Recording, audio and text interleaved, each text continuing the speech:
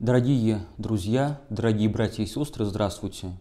Каждый верующий знает, что в мире есть добрые и злые силы.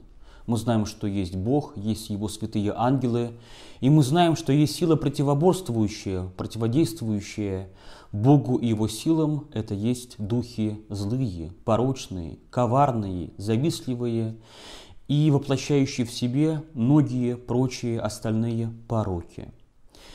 Но вот, дорогие друзья, когда мы читаем ветхозаветные тексты, Божье Слово, Священное Писание, мы находим изредка, иногда, но странное выражение, что на кого-то сошел злой дух от Бога, злой дух от Господа. И вот кто-то этот начинает делать неправильные вещи, говорить неправильные слова, короче, оказывается объектом какого-то Божьего воздействия, делающего из него нехорошего человека. И вот возникает вопрос, если есть злые и добрые силы, и Бог никакого не имеет общего дела с какими-то злыми силами, то как можно понимать эти выражения? Злой дух от Господа, злые духи от Господа. А в нашей сегодняшней мини-лекции давайте разберем и как-то богословски истолкуем, интерпретируем эти немногочисленные, впрочем, места из Ветхого Завета. Итак, начнем с книги Судей, глава 9, стих 23. В этом месте рассказывается о известном Божьем шофете, судье Авимелихе. Итак, «Но Бог послал злого духа возбудить вражду между Авимелихом и горожанами Шехема, а шехемцы отвернулись от Авимелиха. Ну вот, э, видите, есть Бог, есть э, посылаемый им дух, он описывается очень однозначно, это злой дух, руаха раа по-еврейски, и этот злой дух вызывает негативные отношения между человеком и городом, между судьей таким протоцарем Авимелихем, э, Мелихом и горожанами, жителями города Сихема. Таких случаев делается больше, когда мы переходим к описанию взаимоотношений царя Саула и его оруженосца, его придворного музыканта, его слуги, будущего царя Давида. Тут есть целый какой-то вот набор этих мест, где упоминается тот самый злой дух от Господа, о котором мы сегодня рассуждаем. Первая книга царств, глава 16, стих 15. Тогда обратились к Саулу приближенные его и говорят, «Раз тревожит тебя злой дух от Бога, то пусть господин наш прикажет рабам своим, стоящим пред тобою, чтобы они нашли музыканта, умеющего играть на лире. И тогда будет на тебе, э, и когда будет на тебе, извините, злой дух от Бога, музыкант своей игрой облегчит твои муки. Вот описывается ситуация, есть человек Саул, Шауль, есть э, дух, посылаемый ему от Бога. Этот дух описывается как, опять же, злой, нехороший и вызывающий страдания дух. А, другое место, первая книга царств, глава 18, стих 10. На другой день Саулом завладел злой дух от Бога, и он, находясь у себя дома, пришел в выступление. Как обычно, Давид своей игрой успокаивал его. В руке же Саула было копье. Дальше описывается, как Саул, охваченный этим тяжким, мрачным состоянием, метнул в Давида это самое копье.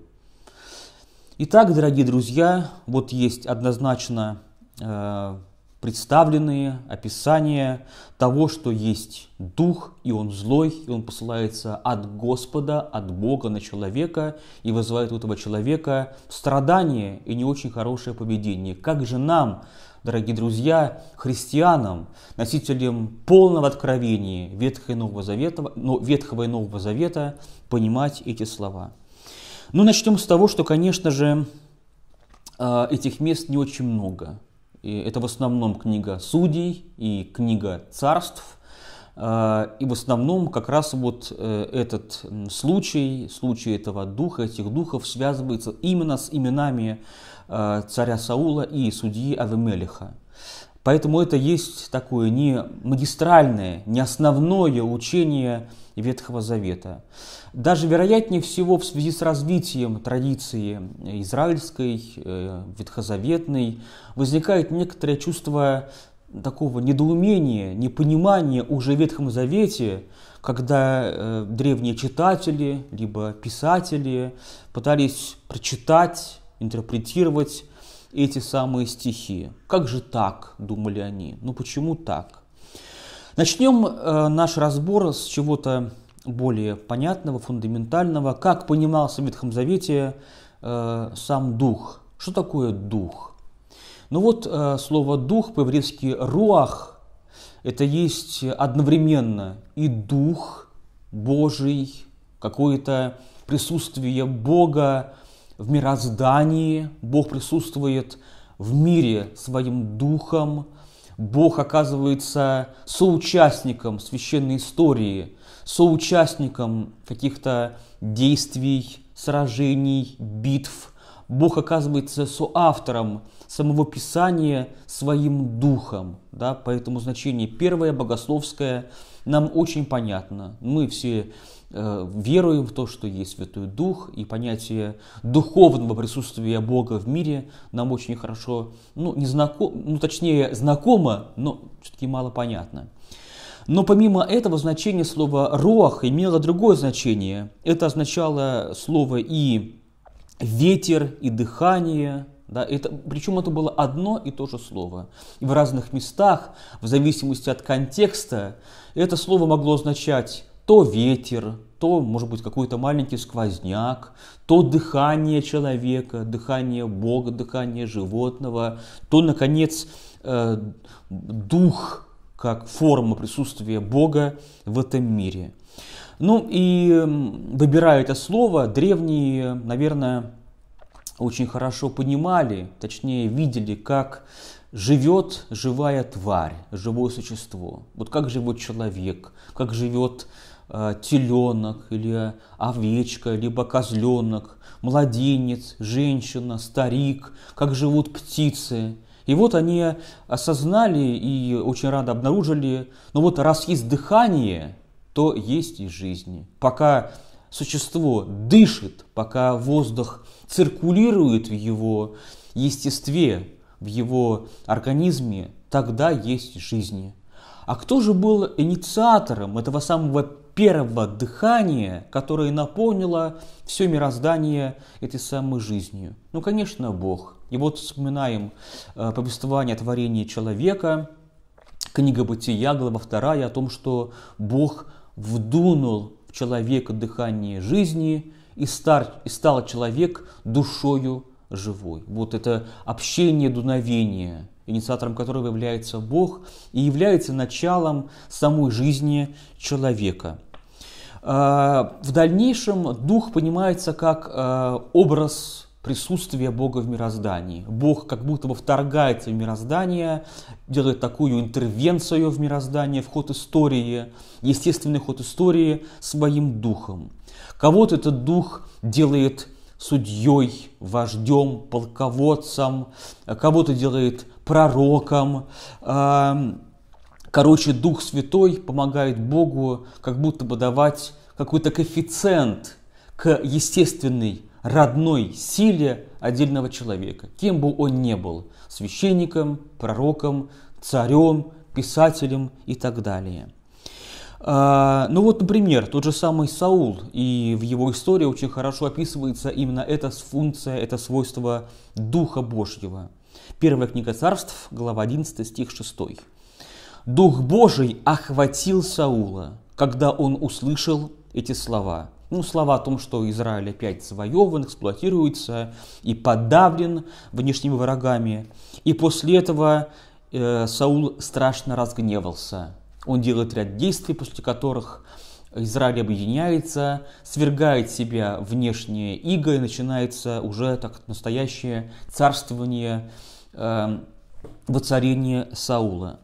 То есть получается, что у Саула был тот самый дух, он был его спутником, для того, чтобы Саул был полководцем, вождем, лидером, царем Божьего народа Израиль. Тогда как понять то, что вот потом насылается на него злой дух, наводящий какое-то помрачение, смятение, муки. И вот можно интерпретировать двояко эту вот духовную перемену в жизни Саула. Ну вот, например, первая интерпретация такова. Забирается дух правый, дух добрый, дух, дающий ему энтузиазм, какое-то вдохновение, и посылается дух мучающий, да, другой дух, да, у каждого духа своя специфика, своя функция. У Бога есть целый какой-то набор разных духов. И вот Бог вместо одного забираемого духа посылает Саулу другой дух, дух, вызывающий мучение и помрачение рассудка. Но, возможно, можно понимать э, этот случай и другим образом. Тот же самый дух, который был однажды неспослан Богом Саулу, в зависимости от поведения этого человека, Саула, и замечу каждого из нас, оказывается в разных ситуациях то духом поддерживающим, укрепляющим, дающим нам энтузиазм, то он является духом нас осуждающим, лишающим нас сил, когда мы поступаем неправильно и неправедно. Возможно, можно понимать эту духовную перемену в ситуации и в жизни Саула, и таким образом э, тоже.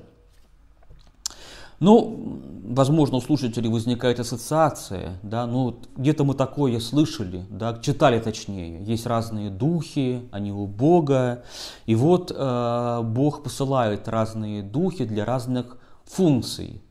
Конечно же, тут сразу у нас приходит на ум книга Иова. Вот в книге Иова начинается книга тем, что Бог собирает своих э, слуг, это ангелы, да, или можно сказать, что это духовные силы, поэтому духами можно их назвать. И вот один дух был какой-то вот не такой. Он был э, источником как раз вот какой-то клеветы, лжеинформации. Э, он является причиной и проводником одновременно всех последующих страданий праведника и мученика, э, терпящего лишения Иова. Но вот такая скандальная еретическая мысль состоит в том, что нам это странно, удивительно, но этот дух, этот, это сатана, этот дьявол, э, дух-искуситель, как будто бы посылают, посылается самим Богом, и он является каким-то верным слугой Бога, ну, правда, занимающимся какими-то своеобразными, э, не очень хорошими делами. Э, ну, да, это вспомнили, это есть в книге Иова, да. Но, дорогие друзья, вот в случае с книгой Судей и в случае с историей Саула и Давида нет такой персонификации. Не указано, что это вот есть отдельный дух – обладающий отдельной субстанциональностью и каким-то отдельным именем. Тут такого нет. И, дорогие друзья, очень важное свойство всего Ветхого Завета, в большинстве книг, это собрание книг, собрание сочинений Ветхий Завет, в большинстве этих самых сочинений нет никаких указаний на дьявола и сатану, на какого-то персонифицированного злого духа, злую силу, являющуюся источником всего нехорошего на земле. Воистину мы имеем дело с какой-то вселенной очень нам незнакомой, да, или какой-то мало нам близкой, в которой все исходит от Бога, и хорошее, и плохое, и счастье, и благословение, и завет, и радости, и одновременно и горе, лишение, голод, завоевание, депортация, рабство, плен, все от Бога. И вот в этой вселенной, когда все от Бога, нет никаких необходимостей в том, чтобы водить, да, или как-то вот формулировать, осознавать какую-то отдельную, отстоящую от Бога э, личность, персонифицированную злую силу, духовную силу. Хотя заметим тут же, что да, конечно же, учение о том, что в мире есть злая, духовная личность, дьявол, сатана, появляется, да, уже в Ветхом Завете. И со временем, по ходу формирования этого корпуса сочинений, это учение все более э, конкретизируется, уточняется, и мы, в конце концов, имеем дело с новозаветным, уточненным учением о э, силах добрых и силах злых. Ну вот, например, э, тоже цитата из книги «Царств», третья книга «Царств», глава 22, стих 19 и дальше. Описывается в этом пассаже э, видение пророка Михея, который, Михей, рассказывает об этом видении царям э, израильскому и иудейскому. Итак, Михей рассказывает.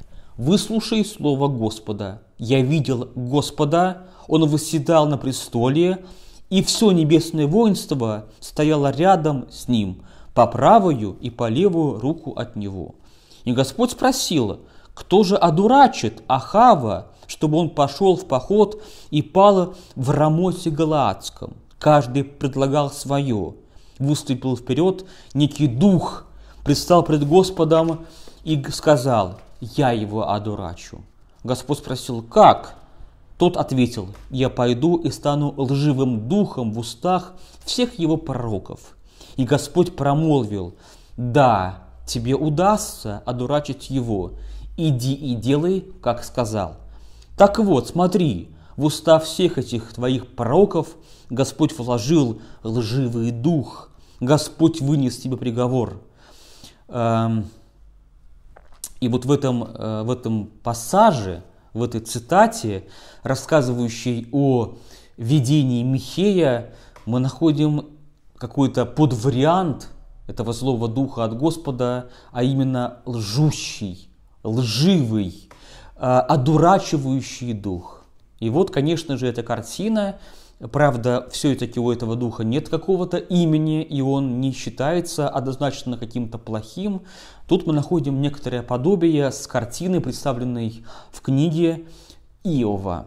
Итак, дорогие друзья, как нам позитивно, нам, христианам, позитивно отнестись к этим э, стихам, какой нам смысл, плод, нечто непререкаемое, вечное вынести из этих непростых цитат и книг, и отрывков из книг Ветхого Завета. Ну, во-первых, дорогие друзья, вспомним о том, что Ветхий Завет – это есть э, часть, первоначальная часть Божьего откровения, Божьего Слова, и часть первая и как будто бы незаконченная, неуточненная. Да? И то, что является неуточненным в Ветхом Завете, договаривается, уточняется, конкретизируется в Завете Новом. Вот так надо и понимать эти стихи, эти э, цитаты. Ну вот э, первая стадия, начальная стадия развития откровения Божьего в мире людей. Поэтому тут некоторые вещи э, доведены недостаточно доходчиво, что ли, или корректно, или конкретно. Дальше, дорогие друзья, ну вот Давайте-ка подумаем, а что есть э, ценного в ветхозаветной картине мира, в которой вот все от Бога исходит. Да, и хорошее, и плохое. И, и действительно, дорогие друзья, в этой картине есть нечто ценное, нечто очень важное, непререкаемое, неприходящее, актуальное и для человека Ветхого, и для Нового э, Завета. А именно, Бог есть единственный, полноценный, окончательный царь всего мироздания. Но это же правда, дорогие друзья, это так и есть. Поэтому в этом отношении ничего, ничего не совершается в мире помимо воли Бога. И в этом отношении, хоть нам это тяжело продумать, додумать, представить, и действия дьявола, и какие-то его ухищрения, они являются частью какого-то глобального Божьего плана, да, сложного, неведомого, неведомого ни нам, ни дьяволу, но это план Божий. И в конечном итоге каждый из элементов этого плана, каждый человек, он выступает как слуга Бога, как тот, кто какую-то Божью функцию, Божий замысел задумывает реализует и исполняет. И тогда мы избавляемся, раз мы думаем так, мы избавляемся от какой-то э, дуалистической, манихейской картины мира, когда нам кажется, что есть в мире две силы, и они какие-то более-менее равные, Бог и дьявол, и вот они вот сражаются. Ну, дорогие друзья, ну не так. Библия этому не учит. Библия не учит тому, что есть две одинаковые могучие силы. Библия учит тому, что есть одна сила, и эта сила называется, именуется Богом. Ну и, наконец, есть другая крайность в оценке мироздания и распределении сил в этом мироздании. Эта картина полагает, считает, что все мироздание порабощено, все мироздание пленено и как будто бы находится в распоряжении э, Бога этого мира, Бога с маленькой буквы, этого Бога с маленькой буквы, Бога мирского зовут дьявол. Да, и а где же Бог? А Бога как, будто бы нет. И все охвачено силами, э, сетями этого дьявола, а Бог далеко, Бог как- как-то не вмешивается в это мироздание. Ну, дорогие друзья, хоть иногда мы находим какие-то элементы этого учения и в текстах церковных, и у церковных учителей, все-таки, дорогие друзья, это тоже не вполне вписывается в картину, э, которую мы находим в нашем Писании, священном тексте Ветхого и Нового Завета. Дорогие друзья, тема э, «Злой дух от Господа» приоткрыта, начало для обсуждения положено. Каждый может из вас дома додумать, осмыслить, найти аргументы за или против моего вам рассказа. Помощником нашим в нашем диалоге является портал exeget.ru. Большое спасибо ему за это.